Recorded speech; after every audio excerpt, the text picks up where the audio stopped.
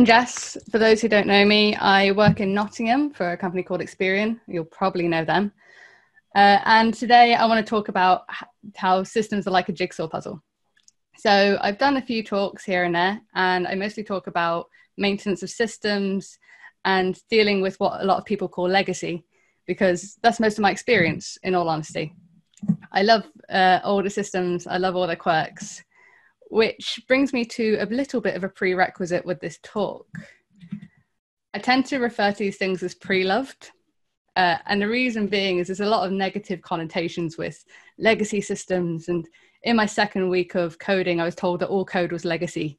It was dirty and bad, and we can write it better. So I was trying to think about the systems I've worked with, and I've got quite a fondness with them over the years. So I came up with kind of like a Gumtree ad of it being a pre-love system.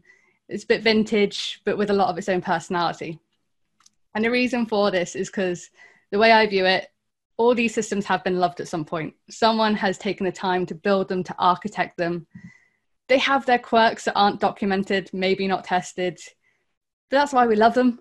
And sometimes they're older, hence the term legacy, but this isn't always the case. Some of these systems are actually quite new. They've just been written under pressures we don't understand, whether that's product pressures or uh, technology restrictions or otherwise. So be kind to your lovely pre-love systems. They don't, uh, they didn't ask to be the way they are.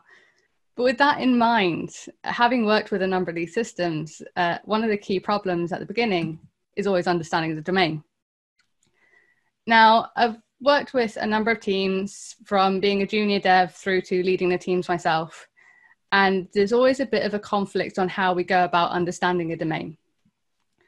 Some people like to start from the bottom up, other people like to start from the top down.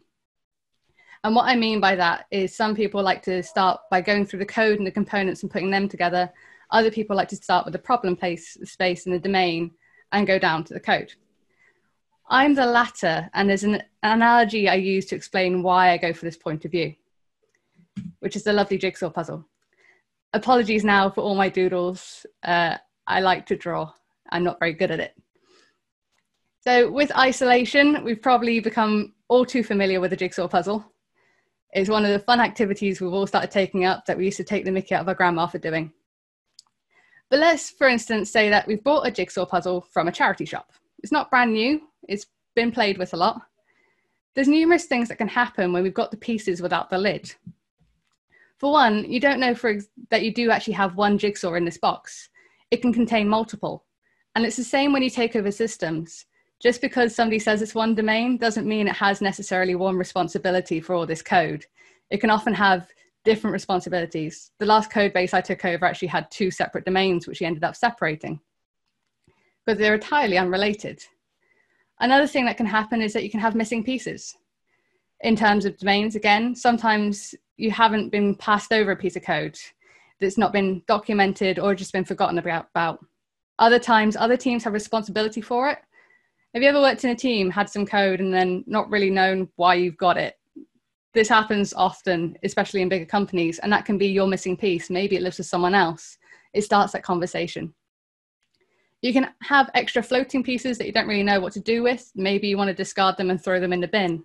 Again, same with your systems. Nonetheless, with all of this, with jigsaw puzzles or with code, without that big picture at the beginning, it really makes life quite difficult. And this is why I think going from a top down view is a lot easier when you're coming to understand the domains with the code you're working with with a jigsaw puzzle, I like to have that picture in front of me so I know what I'm building up to, what all these little pieces are supposed to connect together. I'm not trying to jam these pieces together to try and make a right fit, not really knowing if it's correct. And it's the same with the systems. I like to know what I'm working towards, what this domain, what this system is supposed to be doing. So then I can take the small pieces, understand how they fit together, whether they're actually supposed to be there, whether they're supposed to live somewhere else, or whether we can just throw them in the bin. And let's face it, all of us love deleting a bit of code, so it's always fun when we throw some stuff in the bin. So, how do we go about this? It's fine for me to say jigsaw puzzles and pieces and pictures, but it doesn't really tell you much about understanding the domains you're given. And this is where we use the people. Your users and stakeholders have that picture, and these come in many forms. Some of which, actually, I'll just go through all of them because it turns out I'm not speaking as slowly as I thought I was. You've got your project managers and your project owners who've worked with this system already.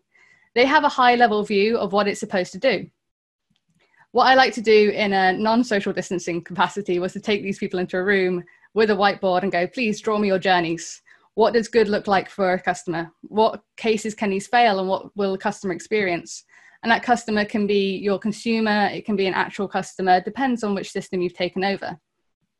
Now with social distancing, you can do similar things with the likes of Trello or Google Jamboard. What you want is just the bullet points of what the system steps are.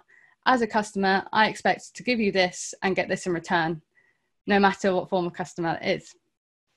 This gives you a really good start for A, your later testing if you want to do acceptance testing, but also that picture for what these components are eventually going to match to.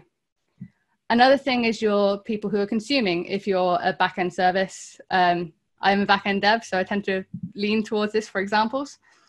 But if you've got a team who are consuming from you, internal or external, they'll have documentation on how they expect to interact with you if you can ask for that documentation, it gives you an idea of not only what the interaction should be like and what those boundaries are, which are really important to you, but also find out about any service level agreements that you need to adhere to to make sure that you're not breaking any of those because those have business impact. And I quite like if you've got a good relationship with the team, especially if it's internal, to just go, if you've got a new person working on our domain, what do you tell them? It tells you a lot about some of the problems they have with your domain as well it just starts to outline the boundaries and what these interactions are supposed to look like. The other thing that's quite nice, if you can, is to actually use, get feedback from the customer themselves, whether this is through focus groups or seeing how somebody's interacting with a form on a screen through recordings or otherwise. If your domain has some sort of outwardly facing component, it's really good to see actually how it's being used. Once you've got an idea of this, you can take your team through the domain, see if it matches up to all the things that you've gone through, see if there's anything missing. Uh, you can do this as a department wide thing, and then other people can also interact. You might fill some gaps this way as well. You can talk to the business about the key performance indicators for your, uh, your services. So, what is it that your business is looking to get from this system? Is it a certain customer throughput? Is it a certain amount of money? and trying to align that to how your domain works with your customers and those kind of goals. See if they align, see if they need to be reassessed as KPIs or whether the domain itself needs to be reassessed. And then we get to the interesting bit if you're a dev, which is actually assessing the components. By this point in your jigsaw puzzle, you have the picture, which is great.